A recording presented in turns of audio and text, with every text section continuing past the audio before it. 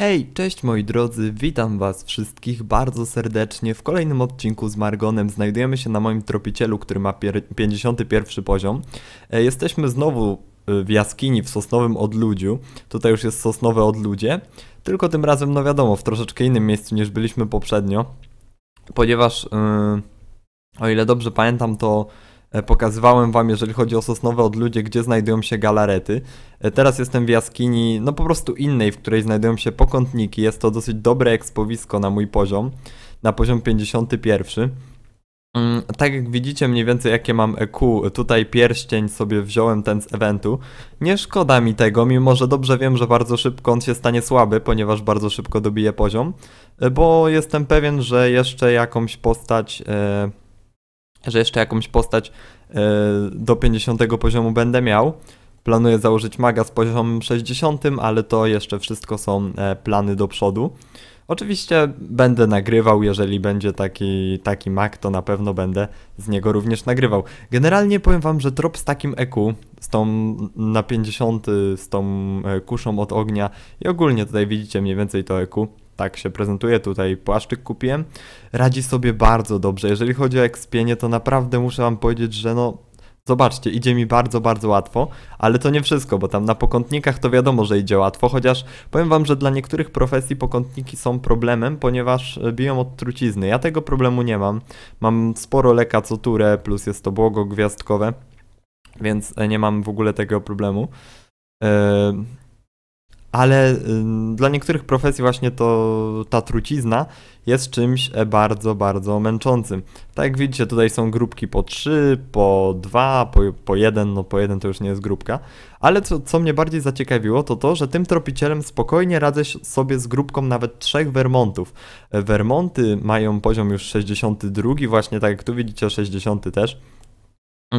I generalnie zdziwiło mnie to, powiem wam szczerze, bo ja pamiętam, że z Vermontami zawsze miałem problem na każdej e, postaci, ponieważ e, no one biją od trucizny, te Vermonty pokwasy biją od trucizny, ten nie bije, ten bije o ten, o właśnie ten, co mnie teraz zaatakował. E, no i zdziwiłem sobie, że naprawdę tak łatwo mi idzie, po prostu wystarczy, że dam płonącą strzałę na każdego na każdego z tych Vermontów i, i już reszta to po prostu jest easy. Zobaczcie, robię tak, nakładam płonącą, o, na tego pierwszego nie weszło, ale i tak mi zabrały tylko 8%, co jest dosyć no, dziwne, tak mi się wydaje, bo pamiętam mu, jak, jak ciężko mi się ekspiło mm, tutaj na przykład wojownikiem. No i generalnie w ogóle w tej jaskini, w której ja jestem, bo może ktoś nie wie, e, są tak jak widzicie mm, dwa tak jakby rozgałęzienia. Tutaj są Vermonty, a tutaj, jak wejdziecie, to znajdziecie jeszcze trochę pająków. My sobie wejdziemy i tu, i tu. E, Nie widzę żadnych przeciwwskazań, ponieważ i tu, i tu sobie poradzę. Aczkolwiek martwię się, że mi się strzały skończą, ale to powiem wam akurat idealnie, ponieważ na 52 poziom są strzały u u tego typka w Eder do kupienia. To już questa trzeba zrobić, ale ja, ja to zadanie zrobiłem, więc o, mocno nas zaorały dlatego że e, tylko jednemu wleciała e, płonąca, strzałka, płonąca strzała. Ale generalnie powiem wam, jest tu duży luz, ponieważ no, wypadają też te potki. te potki, właśnie sok z Vermontów, to was leczy. Jady z pająków wypadają jady pająka, one mogą was leczyć, mogą wam zabrać trochę życia. W ogóle liczę, że że dzień wam fajnie minął dzisiaj, no bo poniedziałek to no taki wiecie, ko- kolizyjny, że tak to ujmę dzień, bo się dopiero zaczyna tydzień. Dla tych, co chodzą do szkoły, to jest niewątpliwie, yy, no poniedziałek niewątpliwie jest nie lada wyzwaniem po weekendzie, tak jak dla mnie. Ja, ja, ja się cieszę, jak widzicie, nagrałem to z bananem na mordzie, bo, bo nagrywam to w niedzielę. jeszcze, jeszcze, ale publikuję w poniedziałek. A niedziela mi akurat bardzo miło minęła, bo już jest 21.44, to wiecie, zaraz trzeba iść spać. Okej, tutaj mamy generalnie, ym, jak widzicie, te pająki, jakby pokrótce powiedzieć. Te karminowe biją od trucizny one mają, i one mają 53 poziom.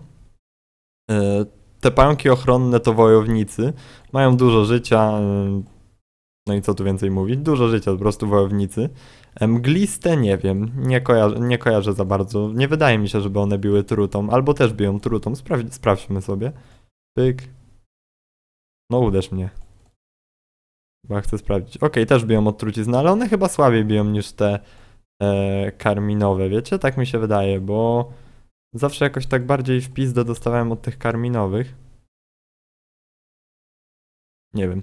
Pokażę wam, e, tak sądzę, gdzie na tym odcinku jeszcze, gdzie kupić te strzałki na tropa. Bo być może nie każdy koja kojarzy, o jaki sklep mi chodzi. Generalnie, e, co z moim tancerzem ostrzy, ogólnie co z tym tropem? O właśnie, jak, jakie plany mam na tego tropa? Bo początkowo w ogóle ten trop miał mieć 40 poziom, ale plany mi się zmieniły. Generalnie tak jeszcze, co mogę powiedzieć, co się działo między odcinkami, bo stale, stale mam to na końcu języka i zapominam powiedzieć. Okej, użyję już tego do końca, bo muszę mieć jedno miejsce w ekwipunku. Byłem, e, byłem ten cukierek do tej eventowej krainy, albo nie, nie wyrzucę go, bo jakby mnie ktoś na, na Herosa tam wołał, to warto to mieć. E, byłem, postałem sobie troszeczkę na herszcie, no i mi spadły budki Unii, one są tam powiedzmy warte no, z 2M na telawelu. Zawsze fajnie, zawsze fajnie. Zwłaszcza, że ja tych e, bić nie miałem tak dużo. Zobaczcie, zobaczcie jak mi po prostu dobrze idzie. Prawie w ogóle nie zużywam potek, prawie w ogóle. E, zużywam tylko tego, co wydropiłem. I no już, już za chwilę będę miał 5-2. To jest naprawdę tak mi się dobrze expi teraz pod tą płonkę, że to jest wow. Generalnie jakie mam plany? W planach mam e, zatrzymać się na poziomie setnym, 105, coś takiego i przykampić sobie troszeczkę na tym Tytanie Renegacie. Mm, dlatego możecie być spokojni, ta seria będzie na pewno długa, bo zanim ja dobiję 105. E, dodatkowo myślałem, czy by na przykład na krzyżowcu sobie nie stanąć, czy tam na szkielecie żywiołów. Wydaje mi się, że do momentu, kiedy ja tą postacią wbiję setny, to tym moim tancerzem ostrzy będę miał tak ze 170, więc będę mógł się ładnie osłaniać na tych E2, jeżeli wiecie, jeżeli ktoś by mnie tam mocno orał. Nie wiem, nie wiem szczerze, czy to jest nobskie, czy nie, jak tak się osłania wyższym levelem. Sporo osób tak robi, w sensie na przykład na Aliasie, jak po 23 to wiecie. Dwusetnych tam jest naprawdę sporo. Okay, no wypadają mi te flegmy, ale już nie mam miejsca. Właściwie to te jady, flegmy to wypadają z galaret. Tam dalej znaleźlibyście galarety po 69 poziom, tak żeby ją od trucizny i z tamtymi to już pewnie bym padł. Okay, wróćmy sobie generalnie tą drogą, co przyszliśmy. Mm, co jeszcze? Mm, no właśnie, planuję dobić tak ze 105 i troszeczkę właśnie na, na Tytanie postać, troszeczkę na E2, y, troszeczkę się dorobić. Mm, co jeżeli chodzi o tancerza ostrzy, planuję expić jak najwyżej. Gdzieś tam myślę, że yy, pokażę wam jeszcze tego mojego maga, jak go wyleweluję. Myślę, że założę go niedługo, bo fajnie by było na nim zrobić na 20 poziomie jeszcze ten quest za gwiazdkę, a mam na to 4 dni, więc w sumie wypadałoby go zrobić, yy, nie, wypadałoby niedawno go niedługo zrobić, znaczy się. No ale to jak mi się będzie chciało, a nie, nie sądzę, więc co tam, zrobię go za miesiąc ewentualnie. Oj, musiałem się podrapać. Eee, Okej, okay. co jeszcze? Muszę zrobić quest na tym tropie, teleport do Nidhal. Tak mi się nie chce, bo on się składa z dwóch questów. Eee, pokażę wam to, myślę. Mam już przygotowane zwoje, żebym nie musiał tak jak debil zasuwać. To mam do niziny wieśniaków, wiecie, bo tam się trzeba, tam w kółko trzeba zapierdzielać, no. Ja powiem wam, nie lubię robić questów, nie lubię. Po prostu, szczególnie, że no do do 50 poziomu, tam powiedzmy do 70, to ja naprawdę znam te wszystkie questy, no dobrze. Za dobrze, żeby one mnie, żeby robienie ich było dla mnie czymś fascynującym. Pójdźmy sobie na tą drugą odnogę. Generalnie tutaj najczęściej są wybite te Vermonty i co? Mm, expią tam nawet poziomy, wiecie, 55, czasami nawet 63 przechodzą i wybijają. Na ogół to się, no teraz nie są wybite, fajnie, tutaj są grupki po dwa, nie kojarzę, żeby tu jakieś trójki były, ale to jest zmiana faktu, że całkiem szybko nam tu na pewno level wleci. E, generalnie możecie się liczyć e, z wyzwiskami, jeżeli na jeżeli będziecie tu expili na powiedzmy poziomie tam 60 którymś, ale wiecie co, kij z tymi wyzwiskami. Naprawdę, jeżeli wiecie, te Vermonty wam nic nie zabierają życia e, na takim 60 którymś poziomie, no to możecie przejść i je wybić, to zawsze jest parę procent, prawda? Ja... Oczywiście, no wiadomo, są lepsze, dużo lepsze ekspowiska, no ale jednak powiedzmy, że ak akceptuję to w miarę. Okej, okay, no generalnie dziwi mnie to, bo mi, mi, teraz te Vermonty nic nie zabierają, tak jak widzicie, wsadzam każdemu płonkę mm, i kurde, no wiecie, no i się składają. Płonka bije co turę od ognia i to naprawdę fajnie, fajnie działa. Ok, widzę, że wszystkich grup tu nie ma, bo ja te grupki znam tak w miarę na pamięć, bo sporo, sporo tu ekspiłem. E, no miałem po prostu dużo postaci z, z tym poziomem, więc sporo tu ekspiłem. Ok, generalnie w ogóle w Sosnowym Odludziu jest o tyle zarąbiście, że jest, są chyba dwie albo trzy groty nawet z pająkami. Patrzcie, level up. Więc ja nawet wiecie, można robić w taki sposób, że expicie na najpierw na jednej grocie i w momencie, w którym czeka, czekacie aż się mopki zrespią, no to wbijacie na, na drugą. W ogóle, no mnie to dziwi, że daję sobie radę na tych Vermontach. Naprawdę jestem zadziwiony, bo EQ nie mam jakiegoś wykokszonego. Fakt, pierścień jest bardzo mocny moim zdaniem, ten na 50, ale on jest taki bardziej pod PvP, wiecie, niszczy pancerz, jest takie bardziej pod PvP, co nie zmienia faktu, że no naprawdę jest całkiem, całkiem fajny. W ogóle na 50 poziom powinienem sobie też strzał wziąć, ale tak jak widzicie z płonką sobie radzę dużo lepiej. W ogóle już kupiłem sobie kuszę na setny od ognia. Yy, za tam 6M bardzo, bardzo tanio. Plus naszyjnik nasetny, unikat z kochanki. Niby unikat, a droższy od tej kuszy od ognia o dużo, bo tam chyba za tą kuszę dałem 6M, to jest ta kusza, co z miłośników wypada. Ta na setny właśnie od ognia, a za naszyjnik z kochanki unikatowy dałem 14M, więc ponad dwukrotnie więcej, także no bi biznes. Niestety. Ogólnie mam EQ na tancerza kupiony na 113, teraz na tancerzu się męczę, mam 107, męczę się na mumiach. No, średnio mi się tam podoba ekspienie, no ale co poradzić, level dobić trzeba. Okej, okay, pyk, załóżmy sobie strzałki. Już, już widzę, że mi się kończą, ale to dobrze, to dobrze, bo będę mógł wam pokazać, gdzie kupić, um, gdzie kupić po prostu bardzo, bardzo fajne strzałki od zimna na 52 level. Tylko, że wcześniej trzeba zrobić questa. Ja tego questa zrobiłem, bo tak jak pamiętacie, jak pokazywałem wam jak ekspię na galaretach, mówiłem, że sobie strasznie słabo radzę. I to była wtedy prawda. No bo nie miałbym, nie miałbym powodu, żeby kłamać za bardzo. What the fuck. Ale w każdym razie, to była wtedy prawda, że mi się słabo ekspiło i szukałem po prostu, wiecie, żeby jakiś, żeby jakoś tanio, ale jakiś dobry łuk znaleźć, żeby się nie trzeba było specjalnie nawysilać. No i zrobiłem tego questa, kupiłem łuk, który pewnie mam dalej w ekwipunku, musiałbym znaleźć. E, tak, ten kupiłem i okazało się, że jest jednak gorszy od tego mojego od zimna. No, 50 poziom wbijało się ciężko na tropicielu. Teraz mam mega z górki. To jest po prostu. Ile ja mam wyczerpania? 300. Nie, już myślałem. Wyczerpanie, no 295, więc w godzinę de facto wbiłem dwa, dwa poziomy. Bo dzisiaj zacząłem expić od 50 i, i miałem tam 0% wbite, więc w godzinę wbiłem dwa poziomy. Sami ocencie, jaki to wynik na świecie normalnym. Wydaje mi się, że naprawdę całkiem, całkiem fajny. Więc no, w tym tempie 6.0 będę miał za 4 godziny. No oczywiście tyle nie będę siedział. Nie będę tyle siedział przy kąpie. Dzisiaj na pewno nie, bo no, jutro szkoła i trzeba się przygotować psychicznie i fizycznie też, czyli po prostu iść spać. Ok, popatrzyłem sobie na podgląd przez chwilę, czy to się fajnie nagrywa. Wszystko ładnie śmiga. No I zobaczcie, już dobiliśmy 10%, a, a de facto no przed chwilą był level up. Tutaj są chyba trzy te pokątniki. No, za to się całkiem fajnie dostaniemy procent. No, procent 1,3% powiedzmy.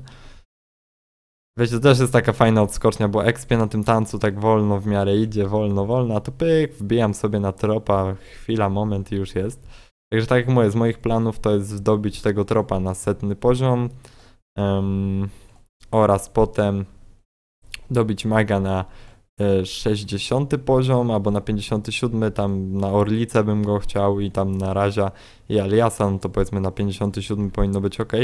Chociaż na 60 to im bardziej pasi, bo wtedy Ekus Przewo e, wchodzi.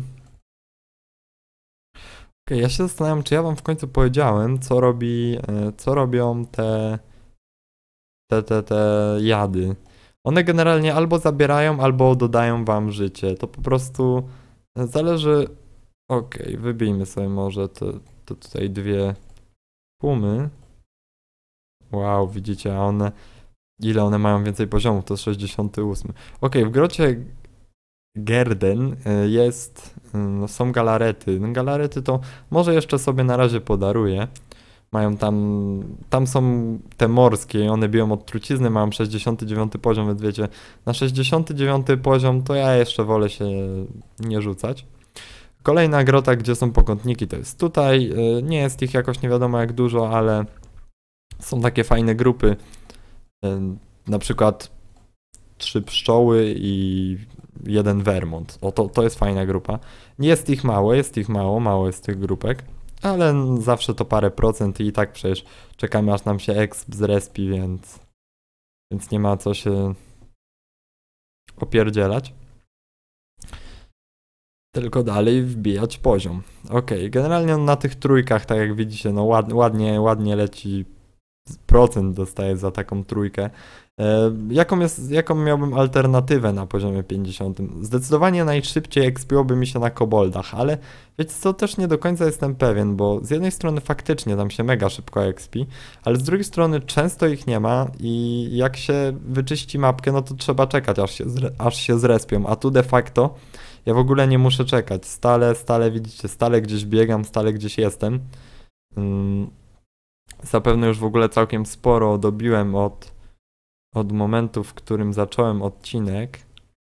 Ogólnie widzicie, że teraz bardzo dużo Margo na kanale wrzucam, no bo cóż, mm, nie zaprzeczam, że jest to gra mojego dzieciństwa, bo grałem w nią, no wiecie, ja ją pamiętam.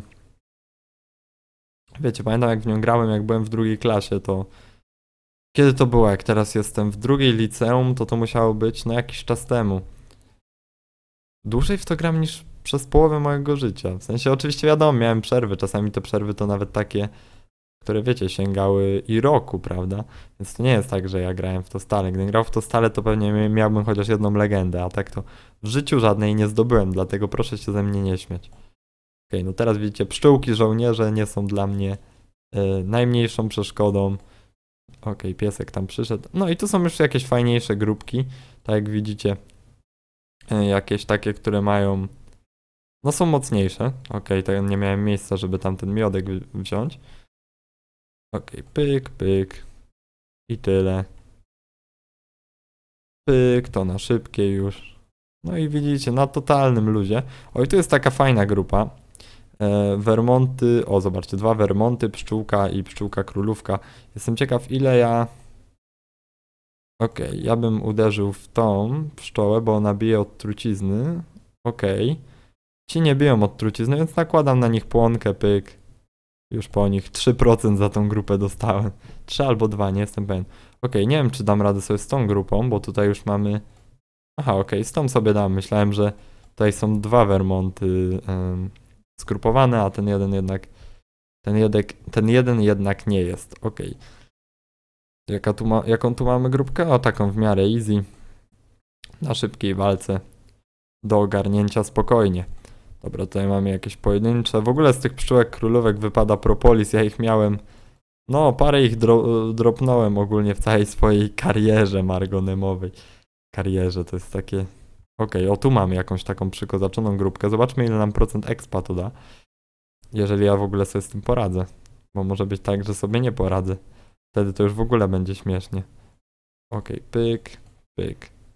Dobra, teraz to już z górki, płonąca. Dlatego też płonkę, no i już szybka.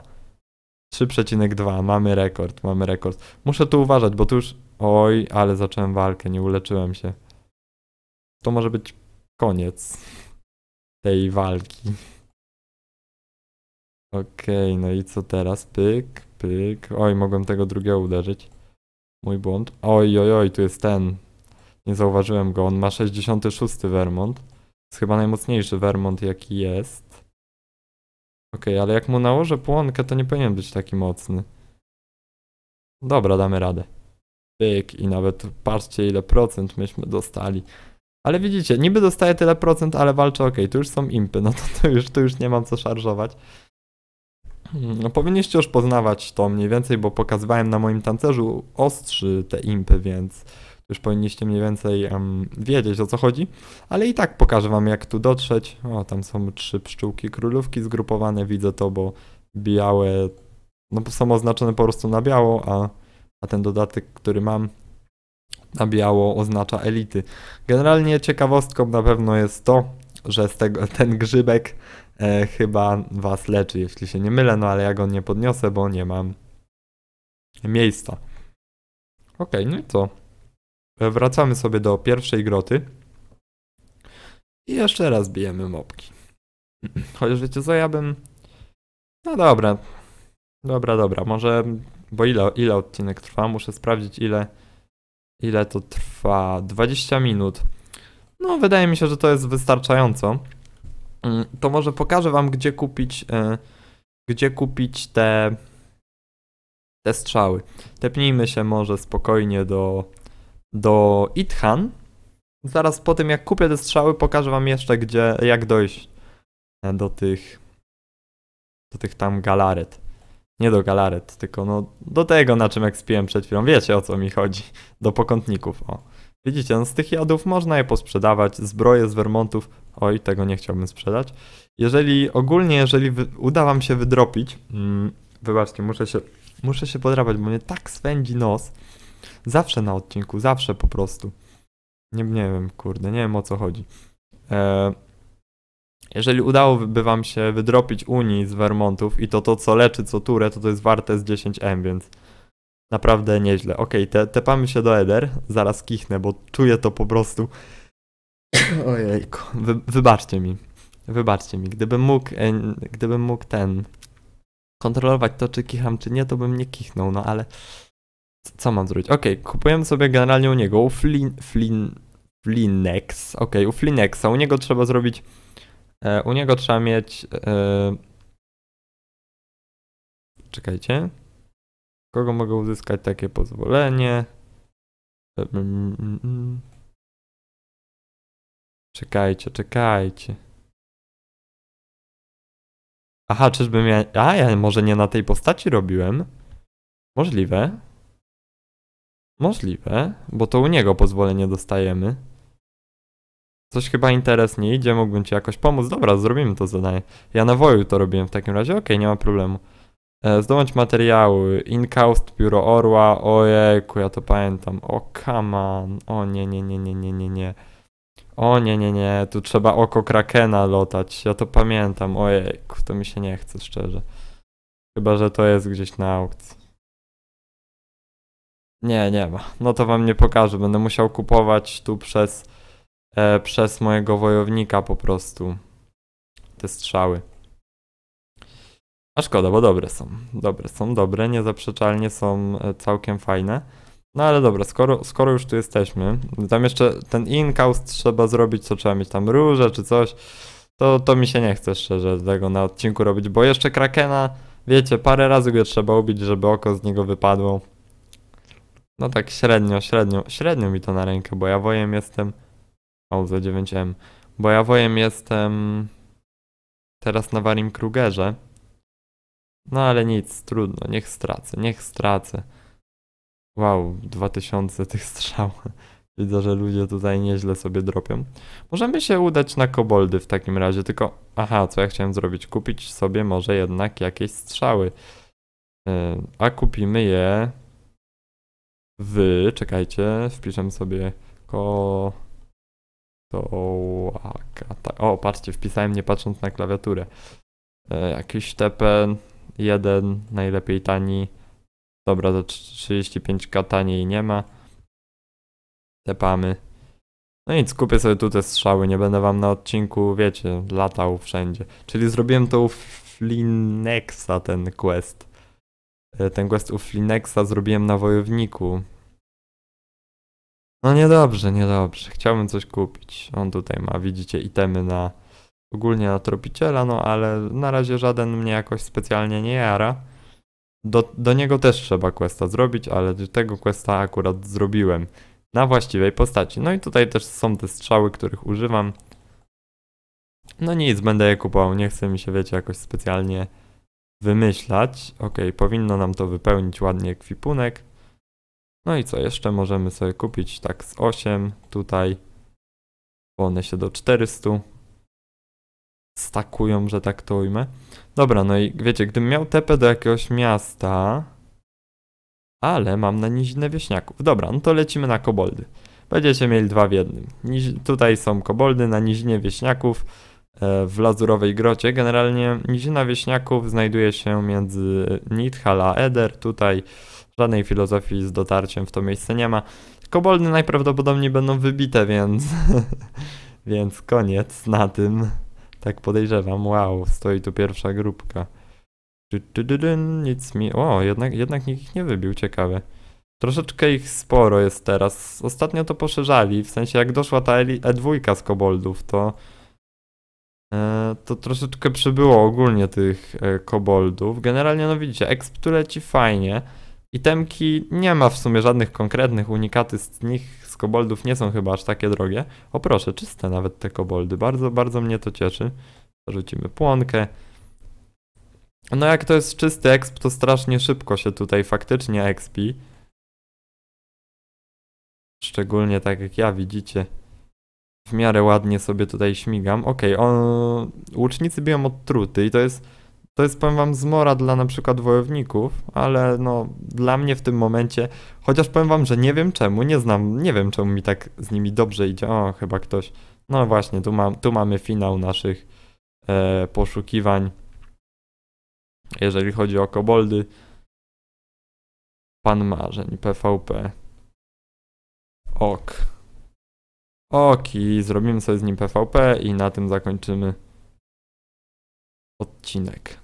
Tak sądzę, że to będzie dobry pomysł. No wal, przyjaciel. Tutaj jest generalnie dużo grupek, takie grupki po 6. Jakbyście poszli dalej, to patrzcie, szybszy jestem od niego. Ok, płonką na start. On też bije płonką, uderzył nas mocniej niż my go. Teraz normalny atak. Dobra, no bije nas pewnie płonką. Każdy atak jego to pewnie jest płonka. Okej. Okay. Dobra, on nas poskłada. No nic. Nic, mnie jakoś to specjalnie nie boli, bo się domyślałem, że mi poskłada Nidhal. No to mi średnio na rękę, ale i tak używam kamyczka do Mythar i idę sobie na te na te pająki. Miałem wam pokazać drogę, no ale zapomniałem o tym i poszedłem na koboldy. No nic, myślę, że każdy z was tam trafi, tak jak mówię, nie ma w tym nic specjalnie trudnego, idziecie sobie od Mythar tu, tu, tu przez ten las dziwów, liściaste rozstaje, no i sosnowe od ludzie i wchodzicie tam już do tych jaskiń, które pokazywałem. Także ja się z wami żegnam, to by było na tyle. Eee, o, jakie ja tu mam strzały z koboldów. No nic. Eee, szkoda, że z tymi strzałami nie pykło. W każdym razie, no tamtego typa trzeba je kupić. Ten quest jest, no, wystarczy tylko to przynieść, ale no, bywa to monotonne. W sensie jest to trochę, no, wiecie, odkąd na aukcji nie ma na przykład takich rzeczy jak ten, jak, jak oko Krakena, wydaje mi się, że jest ono potrzebne, no to wiecie, odechciewa się robić takie zadania. No ale nic, ja sobie kupię nawoju, te rzeczy i, i przerzucę na, na tropa. Także cóż, ja się z wami żegnam, to było na tyle, jeśli chodzi o ten odcinek. Trzymajcie się i do usłyszenia w kolejnych materiałach. Staram się też moje, żeby te odcinki nie były jakoś przesadnie długie. Trzymajcie się, cześć.